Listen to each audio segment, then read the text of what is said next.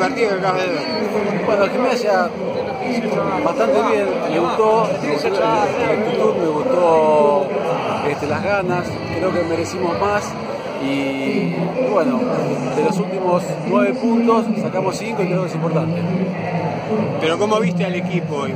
Al equipo lo vi bien, tratando de jugar por abajo en algún momento cuando se podía, pegándole para arriba cuando hay que pegarle para arriba y con mucha actitud. Creo que de esta manera vamos a ir bien.